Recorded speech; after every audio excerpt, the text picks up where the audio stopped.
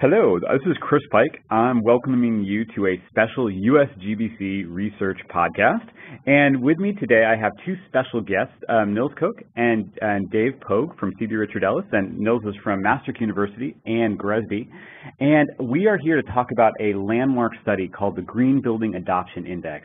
This is work that, the, that this team has done over the last couple of years to provide an unprecedented understanding of the pace and scale of green building market transformation across the U.S. with an unprecedented degree of detail for 30 major markets. And so over the next half an hour or so, we're going to share some of the technical findings and some of the implications.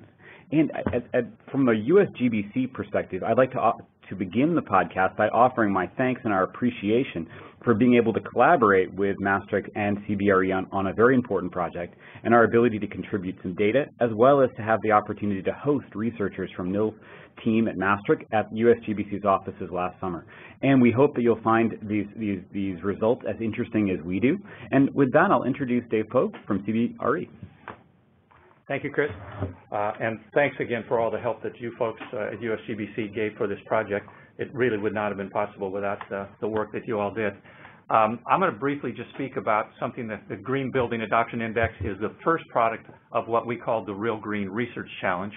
Two years ago at CBRE, uh, we made a pledge as part of our environmental policy that we were going to find ways to support the academic community in helping us find some answers and solutions to some of the sustainability and environmental issues facing the built environment.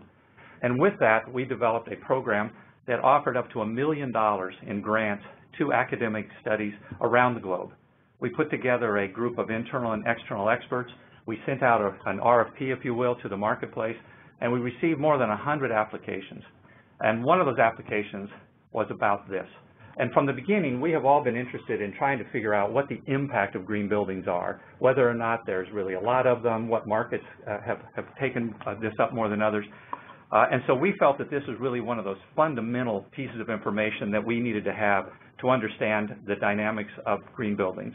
And so Nils was providing this uh, and, and, proposed this. Uh, we've worked with Nils before on some other items, uh, and we respected the work that he has done, and I was very pleased that he offered up this opportunity for us to work together.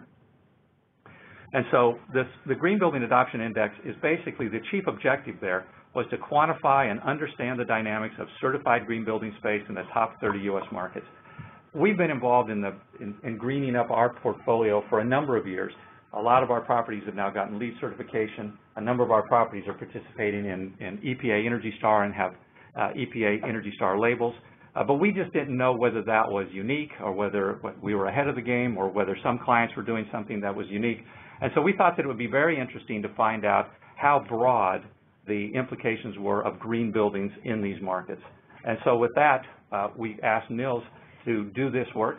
Uh, and I'm going to now turn it over to Nils, and he's going to tell you what the results were. But I will tell you that we were fascinated, uh, we were surprised, uh, and we were very pleased with the results. We intend to do this uh, going forward in future years, and we'll see how it happens. But I'm going to turn it now to Nils Kok to, to tell you the details of the study. Thanks a lot, Dave, and thanks, uh, Chris and the USGBC for hosting this this podcast.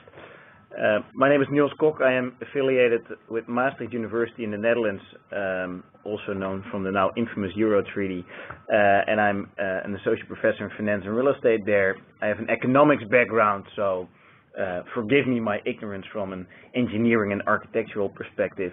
I'm also the executive director and co-founder of GRESB, which stands for the Global Real Estate Sustainability Benchmark, which I can talk about very long, but not today. Because today we'll talk about the Green Building Adoption Index. Uh, Dave and Chris gave a short introduction, and I'll give you my view and then get into some of the results. If you think about green buildings, um, I typically think about energy efficiency and also broader measures of sustainability. And those broader measures have been captured by green labels, I think most importantly by the LEED label of, uh, of the United uh, States Green Building Council, but also comparable labels like BREEAM in the UK, HK BEAM in Hong Kong, CASBEE in Japan, Green Star in, in, in Australia and South Africa, etc., etc. There's been a lot of studies on the financial implications of these labels. So, do investors actually take the labels into account when when uh, when they buy buildings? Do tenants take these labels into account when when searching for office space?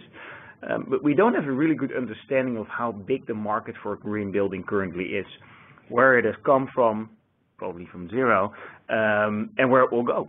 And that's important information for policymakers, it's important information for academics, but it's especially important information for uh, for investors that make investment decisions of investing in green and non-green buildings, and does need to understand the dynamics of this sort of space in uh, in the marketplace.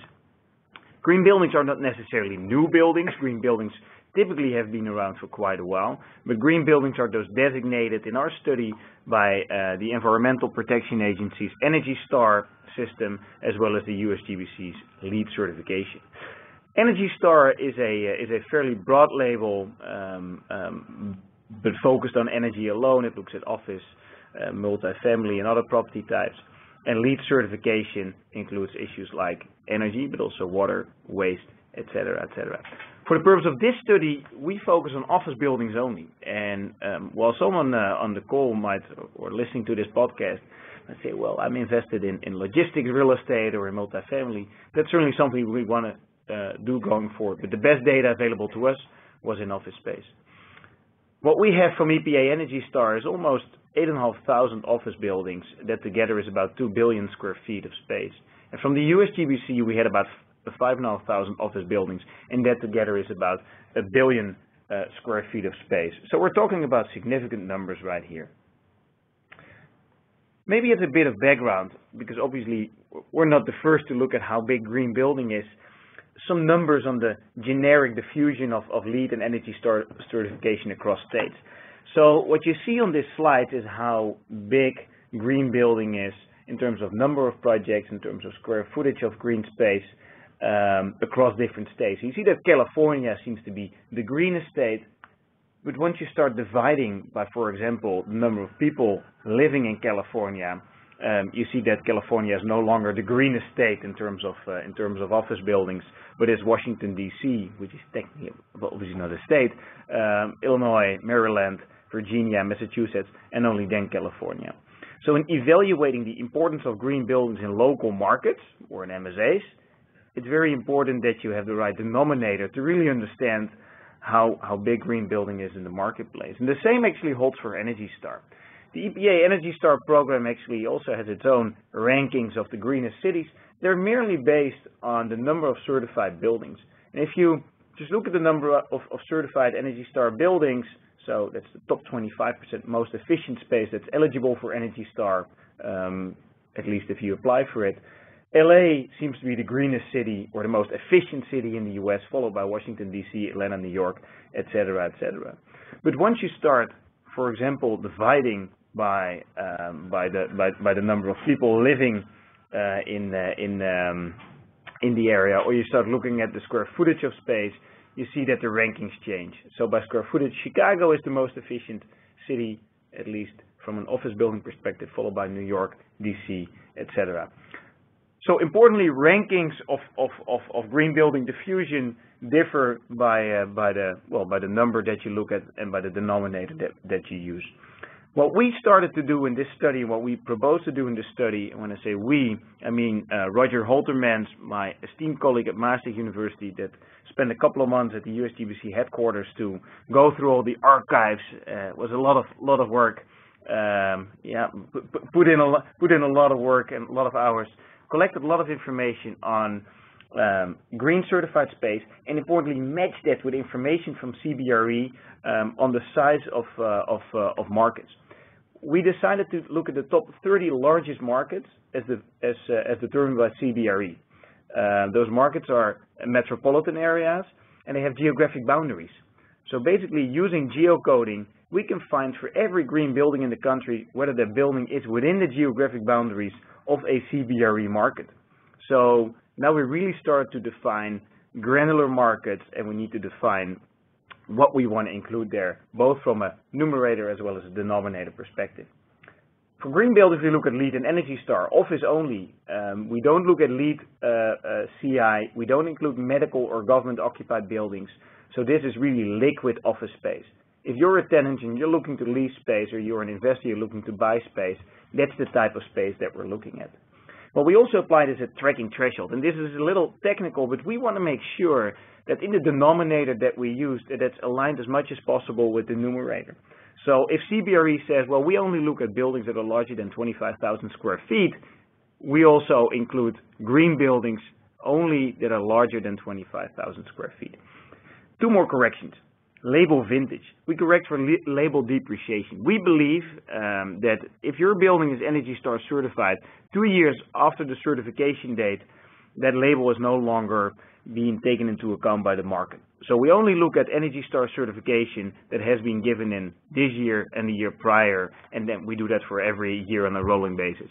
For LEED, we take a five-year depreciation period. So we say, well, if you were certified in 2005, in 2010, it's the last year that we that we count you in. In 2011, unless you're recertified, you're no longer in our measure of green building space. That brings us to two ratios.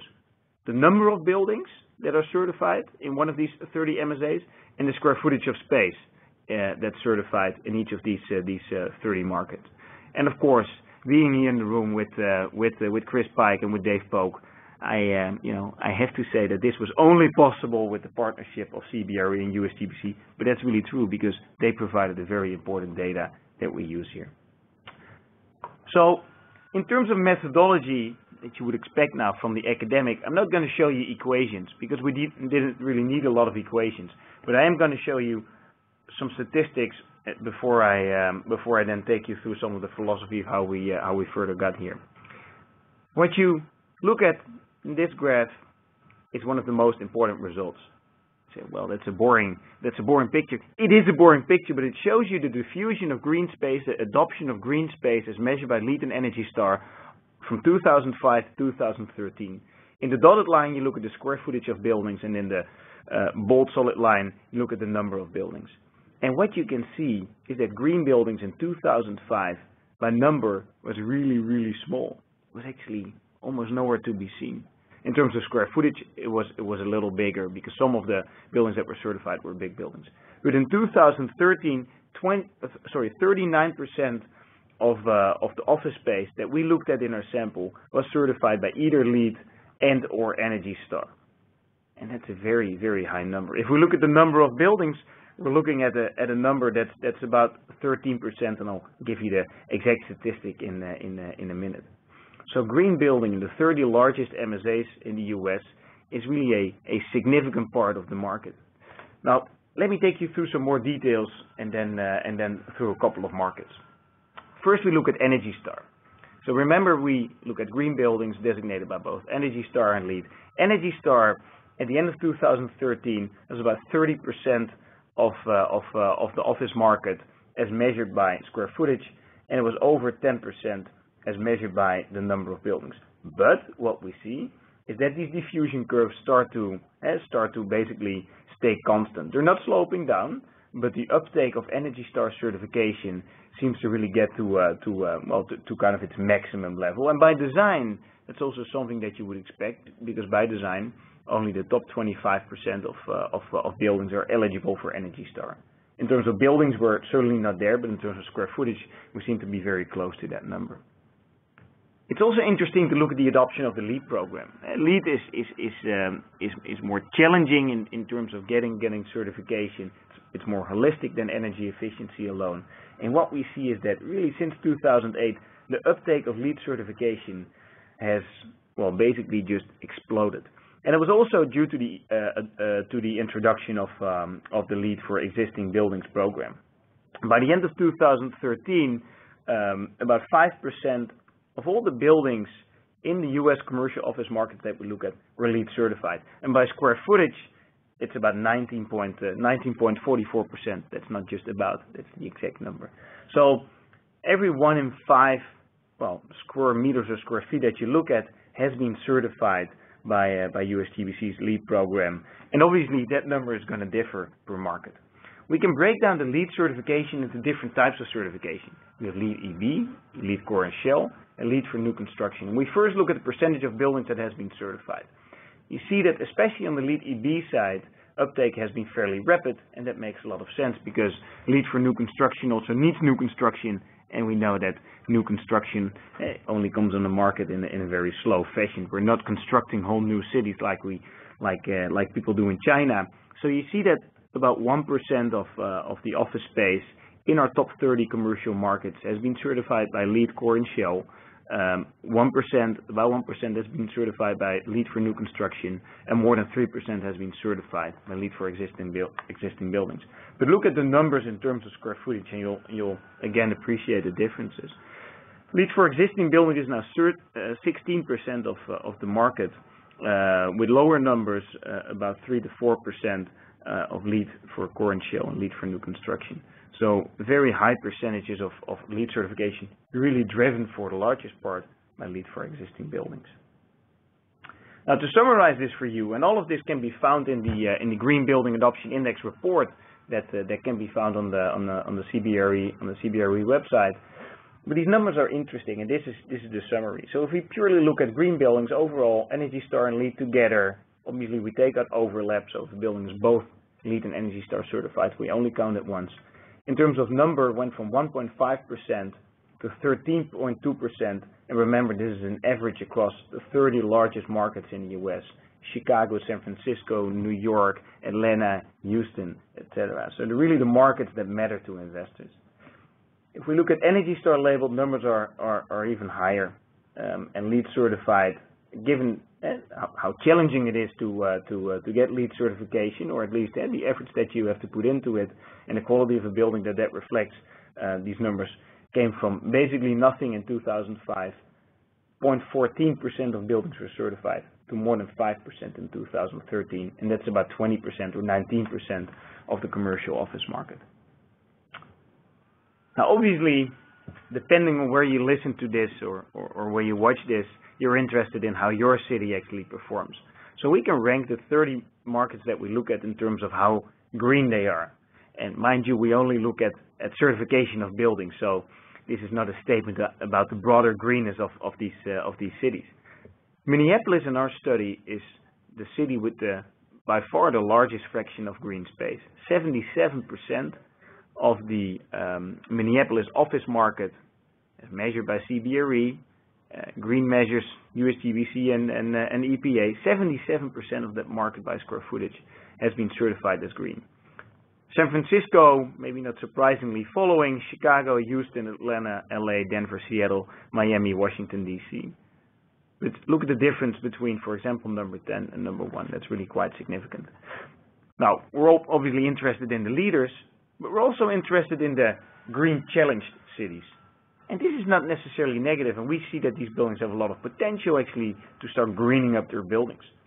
Our number last is Pittsburgh, with about 10% of its of its floor area by square footage, purely office, certified either by LEED or by Energy Star, followed by Kansas City, Stamford, Detroit, and for example, we also have cities like Portland and, uh, and, and Phoenix there, even though those markets have almost a third of their market certified either the EPA or, the USGBC, so are not really green challenged. But there's some, some laggards to be found and some work to be done.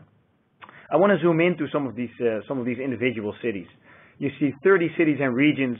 You look at your watch. You've been listening for about 20 minutes, and you're afraid I'm going to talk about all of these.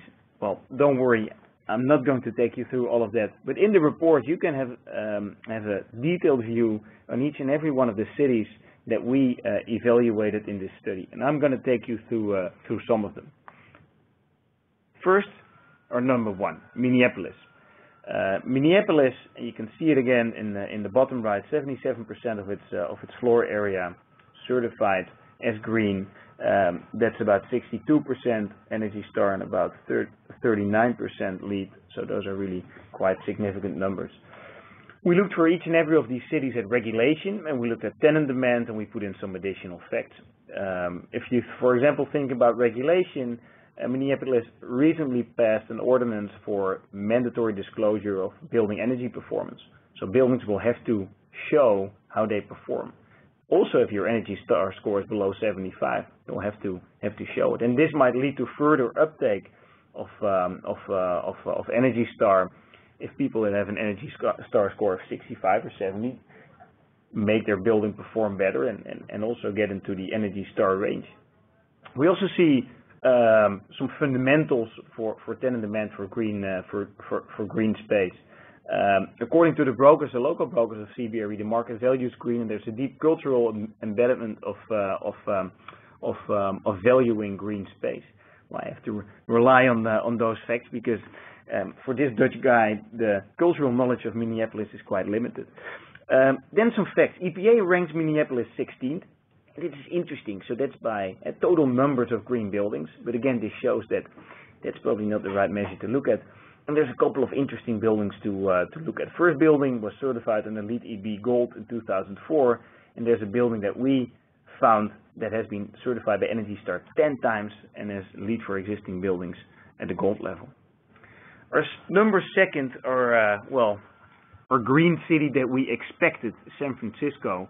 Having spent a long time in Berkeley, I wouldn't expect anything else. San Francisco has been leading in terms of regulation uh, when it comes to uh, mandating green space in, in new construction, etc. And that, um, well, that shows ultimately in the numbers. Even though the percentage of, of the space that has been certified under LEED NC new construction core and shell is still fairly low, a large part of the existing building stock, 38%, 37.5%, has been LEED certified, and 52% of the buildings have been Energy Star certified. And what's important, because you might say, well, San Francisco is very mild, it's never really cold, never really warm, so sure, it's easy to be efficient. Energy Star standardizes its, its, its scores um, for local weather conditions. So it's not the case that, you know, if you don't have to heat and cool a lot, that it's easy to get a higher score on, on Energy Star per se. If we think about tenant demand, well, there's a lot of Fortune 500 headquarters, um, technology and financial services that like to be in, green space, in more efficient space, in nicer space. Um, EPA ranks San Francisco as number fifth, and my personal favorite that I was allowed to put in is 101 California Street, 12 times Energy Star certified. It was built in 1980, so by now it's 34 years old. It has two chillers in the basement, and it's amazing that I know this as an economist, but I toured the building, and only one of those chillers is used because the building is, is run so efficiently. Consistently is one of the Energy Star high performers in the country, and has also been certified as LEED EB Platinum recently. So it's a real crown, crown jewel, I would say. A couple more cities, quickly. Chicago, number three. Chicago also um, passed benchmarking ordinance recently, and that was actually after we did our study, or kind of while we did our study. Um, it is one of the major cities for corporate headquarters. It's a, it's a global uh, investment target city, has a lot of business services, it's an important real estate city. Um, so those are all fundamentals that drive the demand for, for green space. Um, ranked number six by the EPA, and there's many interesting buildings in, in Chicago, generally and from a green perspective. Houston. I wanted to put in Houston because I think Houston is an interesting example a lot of new construction. About 4% of the buildings uh, in, uh, in Houston has been certified under LEED Core and Shell, and a lot of percent as LEED for new, uh, LEED for new construction. So it shows you that activity in new construction really translates into higher fractions of, uh, of for example, LEED. But obviously Houston is also the hotbed of the oil and gas industry. Um, and I always say that, well, these industries like to offset, like they like to offset their environmental risks, um, call it greenwashing, or just call it being a good citizen where you actually can, um, and then quite some corporate headquarters there. Um, there's also some regulation, surprisingly, in uh, in uh, in Houston, Texas, related to LEED certification, but that's mostly for city-owned buildings. And then Atlanta. Atlanta um, is the city in the U.S. with uh, with um, uh, one of the highest percentages of Fortune 500 uh, headquarters. That translates into quite a high adoption of, uh, of, of green space because, because it's those tenants that are actually looking for, uh, for green building certification. And then to end, because, you know, we got to have something to wish, we look at Kansas City and Minneapolis. Kansas City is not ranked by the EPA. It has some green buildings, actually. It's, it's, it's, it's not nothing. And what we see is that from a new construction perspective, um, it's actually one of the highest percentages of new construction, LEED for new construction, LEED NC in our study. So there's hope for Kansas. There's also hope for Pittsburgh. And um, when presenting this study, people in Pittsburgh said, well, it's unfair that we're number 30th. Uh, this study doesn't say that Pittsburgh as a city is in green. It just says that the number of buildings that are certified is still quite low. We believe there's that there's a lot of upside for, for, for growth here. Only 6% of the buildings is Energy Star certified. Only 6% of the square footage uh, has been LEED certified. Again, new construction, the fraction is quite high, but there's really potential for a lot of the existing buildings to be retrofitted and then to be LEED certified. So with that, we get to uh, we get to a couple of conclusions and and uh, and discussion. So if you uh, did a fast forward to the end of the presentation, just listen to the conclusions. What we did in the Green Building Adoption Index is looking at the adoption of green space across the 30 largest office markets in the U.S., combining information on the general office market, the size in terms of square footage and buildings from CBRE, and information from the USGBC and EPA on green measures. And what we find is that there's a very rapid diffusion, as an economist would call it, of green space. We started in 2005 and green building was virtually non-existent. It was really, really very small. And in 2013, 40% or 39.27% of the market had been certified by either LEED or Energy Star. And specifically for LEED, there was 19.44% of the markets overall on average. So those are very high numbers. There is, however, a large geographic variation in the adoption of LEED and Energy Star, with Minneapolis, San Francisco, and Chicago leading, and poor Pittsburgh, Kansas City, and Detroit uh, being in the uh, in the lower ends of our, our rankings. We find that larger buildings are earlier adopters of green space, we also see that some markets may have reached a saturation point, and I'll be curious to hear the views of, of Chris Pyke and Dave Pogue on uh, on uh, on that. Markets with overall low adoption actually show a lot of promise because we do see that certification for new construction numbers are actually quite high and, and typically higher than in the markets that have a lot of uh, uh, uh, green space at this moment. So what's next? Well, for us, what's next is that Chris is going to reflect on this. Um, but for um, for Maastricht and CBRE, the plan is to update the study on an annual basis.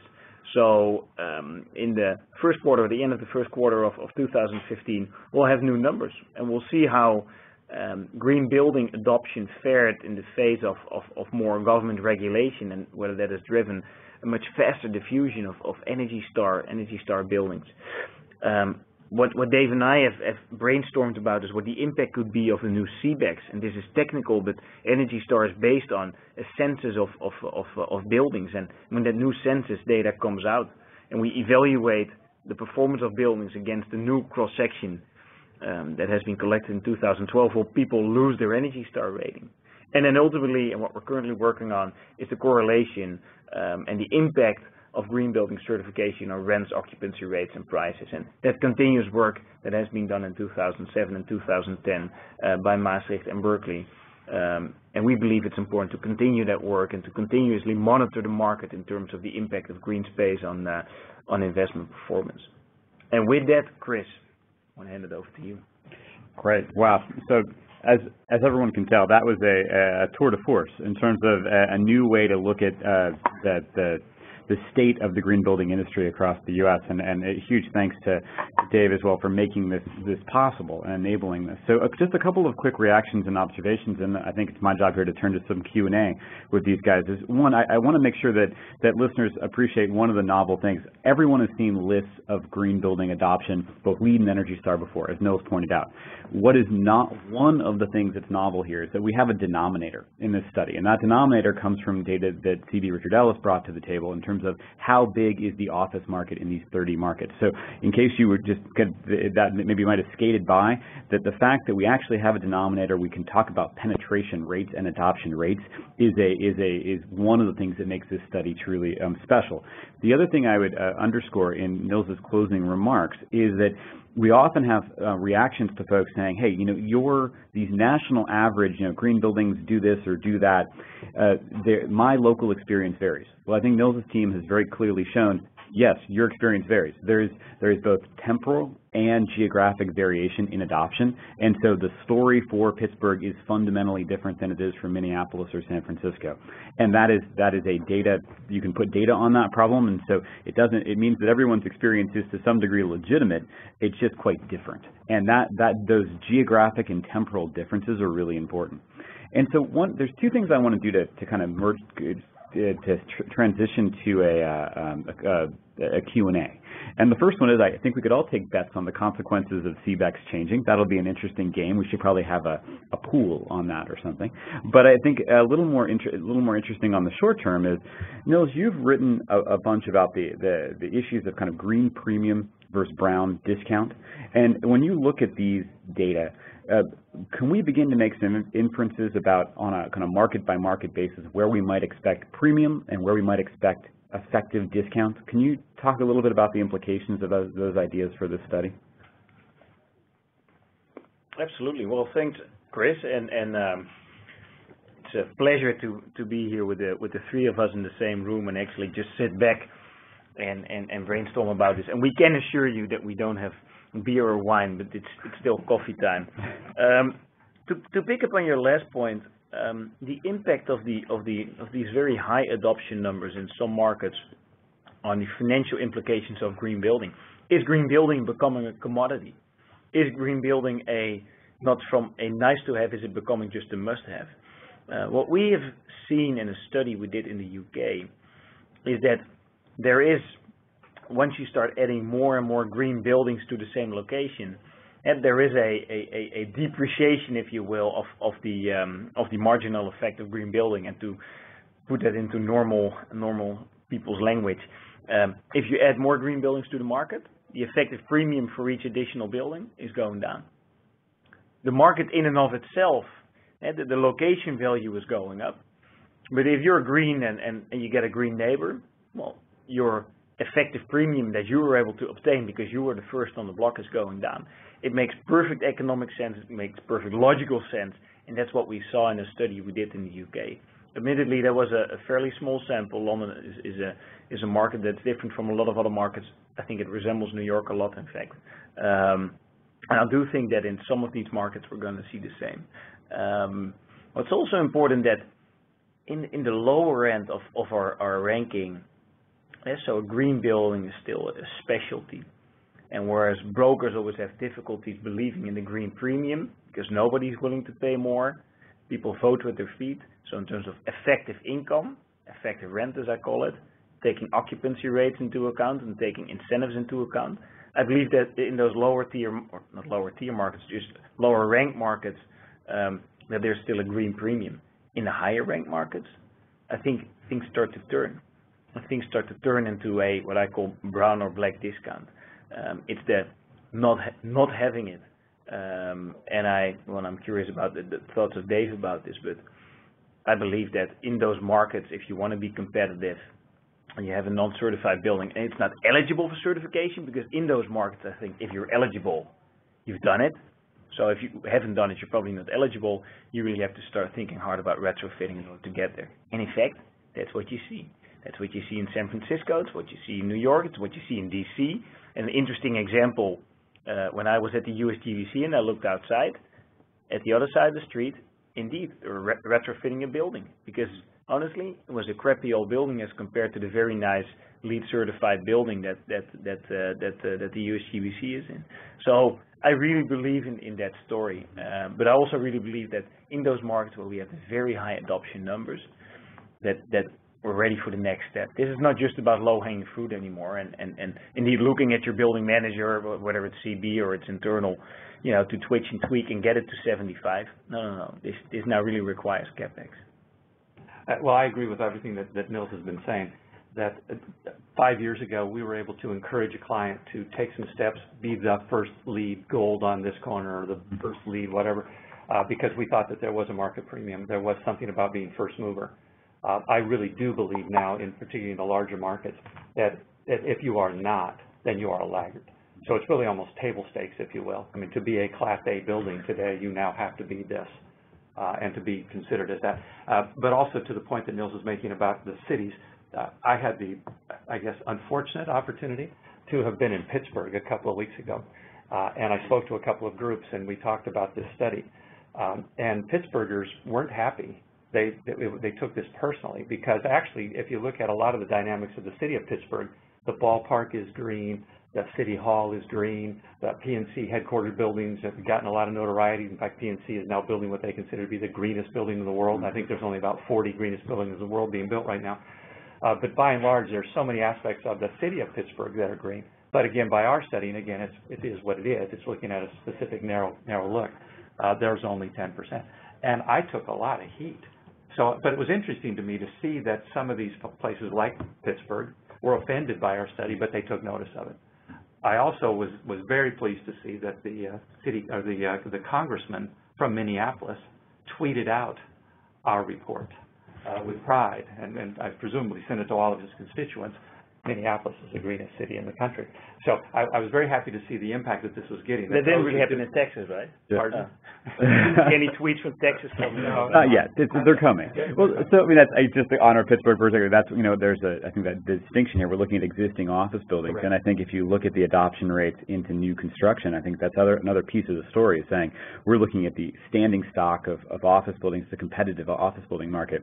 We know we have high adoption rates of green building practices in new construction, yet especially over the last five years, new construction is a small fraction of office delivery. So that it's a it's a it's a big deal it, it, it's like PNC Tower is a great example in Pittsburgh. It's a, it is going to be an awesome building.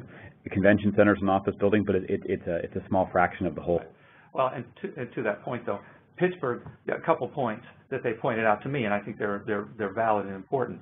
Pittsburgh has really done a very good job of saving a lot of old buildings. Mm-hmm. There's really a terrific kind of historical, uh, you, you look at, you walk around the streets of Pittsburgh and there's every vintage of building is there, Art Deco and Nouveau, and uh, because they've really made a point of saving those old buildings, and, and certainly that is sustainable.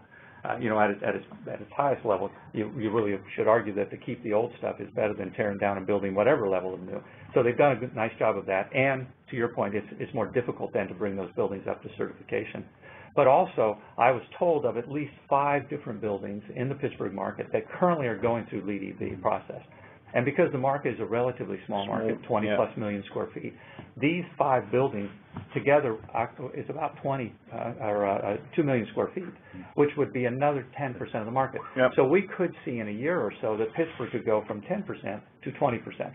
But I did think it was very interesting just to find that this, that our study had ha- was catching people's attention and that they were using it against me in the one page and using it for me in another. Well, and, and, and, and, and one thing I think is in, in, important also, we put in those vintage effects. So we said, well, if, if you're certified two years ago with Energy Star, sure.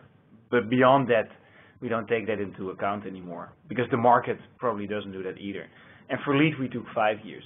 But it is obviously interesting to see how this will evolve. If, if you're LEED certified under, under LEED version 3, is that going to have the same impact as LEED version 4? It's still early days, but go to version 2, version 1.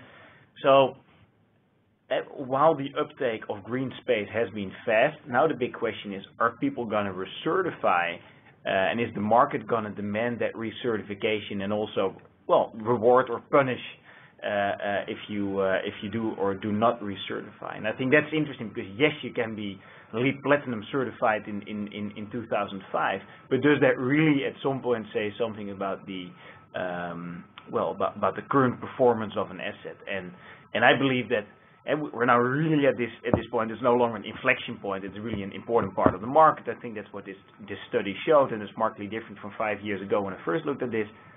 Where is this going next?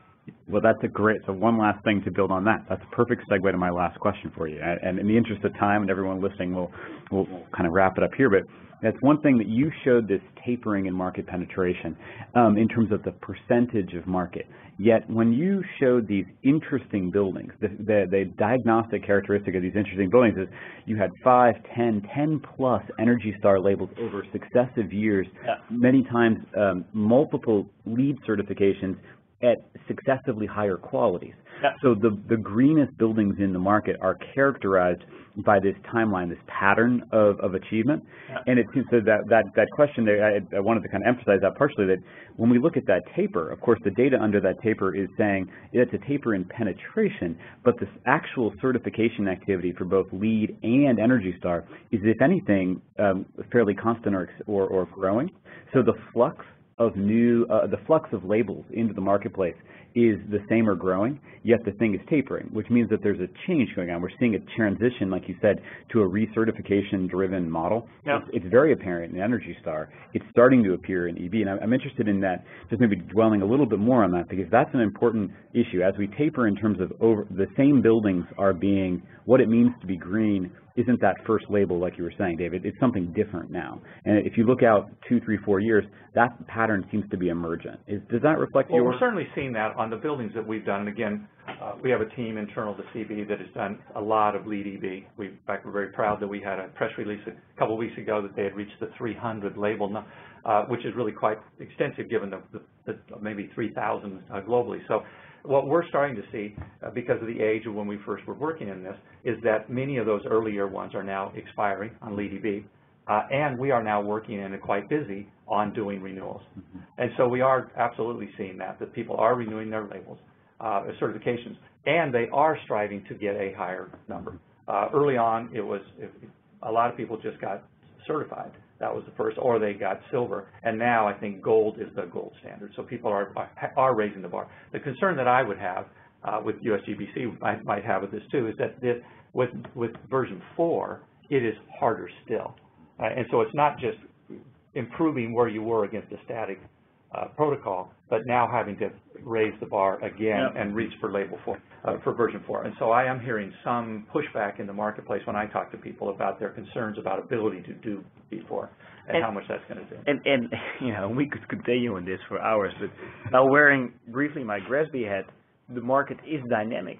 And if you were LEED certified, let's say just certified under a program five years ago, yeah, I think that just being constant in that, it basically means going backward because the market sees new construction. And so basically what sustainability is, is being pushed forward with zero net buildings, the greenest building in the world. They're being built in New York, in, in DC, in, in, in every city actually in, in the US. So that's where the market is, is, is shifting in terms of, uh, in terms of sustainability. Plus buildings around you are being upgraded, retrofitted, optimized, etc. So standing still is really going backward. And now, just just just to to preach uh, to preach a bit about GRESB, that's exactly what we see in GRESB. You could be a superstar five years ago and be nowhere right, right now, and you could blame actually the methodology and etc. But I think you can only blame yourself because the market around you is waking up to the challenge and actually starting to implement and improve. So the thing, same thing I think will happen in the build environment, where one certification, and it, uh, to me it's not about the certification, but the underlying characteristics that you certify is not going to do the job, especially not in, in, the, in these top 30 markets that we're looking at. And, and I would add something too, that historically, 20 years ago, a, a new building would be built, and what characterized that was it was fancier. It had it had granite in the lobby. It had some it had some physical characteristics that made it stand out. That it was a prettier building in a lot of ways. It was around architecture what we're seeing now, and, and that then, to compete, the older buildings to compete with that, they just had to put granite in the lobby. I mean, there were so many lobbies that were redone, and you redid your elevator cabs, and you did some things, and that's how you met the competition of the new buildings. Today's new building is coming in not just with new architecture, but with new technology and with new energy efficiency, and is doing, they're, uh, they're all being built to LEED certification at some level or another. And so my, my, my belief is that the existing buildings who are see themselves in that same class as the new buildings are going to have to not just put granite in the lobby, they're going to have to meet those technological improvements that the new buildings are bringing in. And so I think that's what's going to help drive the market as well. Well, this is great. So uh, we obviously, as Nils said, we can go on like this. But in the interest of closing out this, this particular podcast, I, I want to refer folks to some places to get more information. Um, you certainly can search the web, and I would encourage you to do so for the for CBRE's Real Green Research Challenge. It, it's an impressive and, and, and obviously impactful program, and that's going to continue for a little while now. And I would also, as Nils said, uh, check out GRESB.com and, and check out some of the information on, on transparency as it's kind of sweeping through the real estate sector. And I, I know that this information is posted on nilskok.com, and so you can go down and download uh, download information from there. And I, I like the fact that Nils now is a brand. Yeah. Yeah, he is brand. Well, thank you guys. well, thank you both, and uh, and we we hope you've enjoyed it. And uh, there'll be information on the website how to how to how to follow folks on on social media and so forth. Thanks, and have a great day.